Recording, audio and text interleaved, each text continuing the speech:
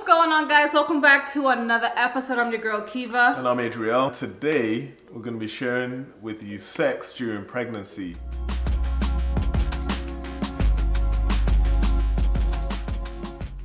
Now, you know, we face different challenges, you know, going through um, the first trimester and, you know, sex is just another one of them that is unpredictable. Um, it's not something that many people share, so we had to learn for ourselves, but we want to be open and transparent with you guys. And before we continue, if you're new to our channel, please go ahead and click that subscribe button and do not forget to like this video. So let's just get straight into it. So, you know, for me, when it came to sex, I just thought everything was going to be the same. I actually thought things might be even better because she wasn't experiencing any nausea. But I thought, man, there's no, you know, there's the monthly cycle is is off for nine months. You know, it's going off. Say party. But yeah, man. So that's that's what was playing in my mind, not knowing that, you know, the woman's body goes through so many different changes, hormonal and even her mood, and she wasn't always in the mood. I was never in the mood. Yeah. I was like, to be honest, y'all, it's like I had zero, zero desire to be intimate with my guy, with my husband at all. Like it was Ooh. just, it was. I just didn't want to have sex. I didn't have a desire. But to be honest, I did it just because. I did try.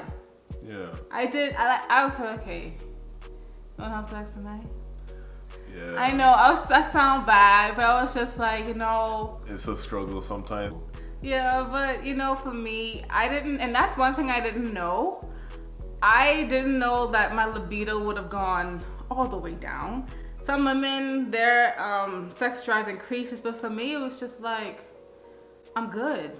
And I think that's what I heard in the past that the sex drive goes up. So that's all that stuck in my mind. That's all you heard. Yeah, that's all I heard from whoever. I don't even know where I heard that from. I couldn't tell you. Yeah.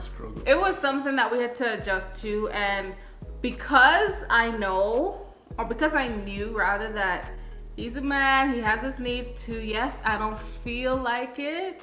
I said, okay, I'm gonna do this anyway because I don't want him to be all deprived and sad and frustrated and stressed out and feeling weak and all these um. emotions that will come with it if he doesn't, you know. So I said, okay, just I'll, I'll, I'll try.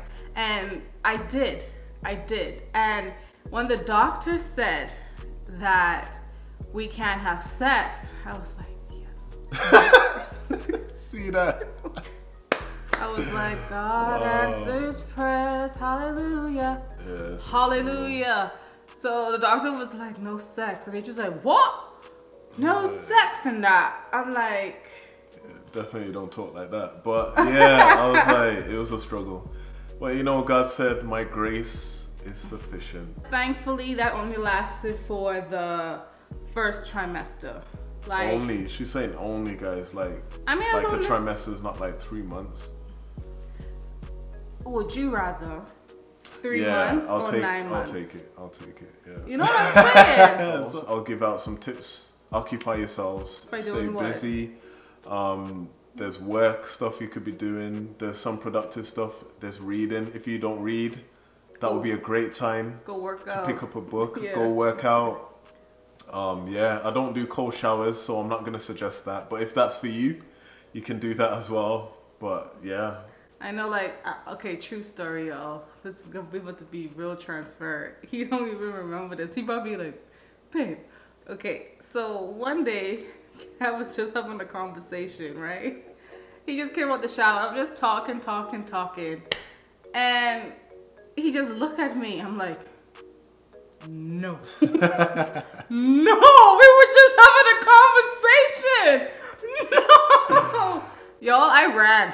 I I ran away. I ran away, and what can you do? Like, I was like, well, babe, we only having a conversation. Like, why is why you why does it even happen? And he was like, he's like, babe, I don't know. This is just. It's just time to go. What do you mean? Like. Only lasted for the first trimester. Um, shout out to my homegirl who was like, girl, need to eat some asparagus. And that I did. And um, you know, libido came back in the second trimester. He actually couldn't keep up with me. So do you have any uh encouragement for the guys out there who didn't even don't don't know that this about to happen? Like what yeah just just stay positive there, there's no way you can predict what's what's gonna happen how she's gonna feel have a heart of service so you know throughout the whole process try and think about what are her needs over yours i know it's not easy as human beings we are selfish in nature but god is able to give you that service mentality and he will help you what does she need you know does she need her back rubbed actually don't do that because that might that might turn you that on. might get you in the mood. but if that's what she needs, that feet- actually happened. her That feet- happened. that happened remember yeah, that? I remember that. Um, she wants some food, some tea, just have a heart of service for for her needs in that moment. I need to pick up a bell. Ding ding ding. Alfred. Guys, um, like I said, this, this is just our journey. Yeah. We wanted to share with you our experience. Like I said, I had no idea that that would happen because if you had spoke, if you had say this to Kiva last year or when I was younger, Kiva me what? Yeah. Libido gone who? Like that wasn't finna happen. But yo, yeah, stuff changed. Yeah. My body changed. We will be dropping a video on the things I didn't expect to happen to my body during uh, pregnancy. And it's a beautiful journey, but it's also a journey of patience, Yes. of endurance, and much more. So guys, I hope you enjoyed this video and feel free, ladies to and guys who are watching to drop your comments and say, yo, how, how was it for you guys in that in that moment? How did you deal with it? How did you cope? All right, guys. So we hope you don't have to go through this, but if you do, all the best. God will be with you. but guys, of course, we can't leave without reminding you that you are Blessed and highly favored. We're gonna see y'all in the next video.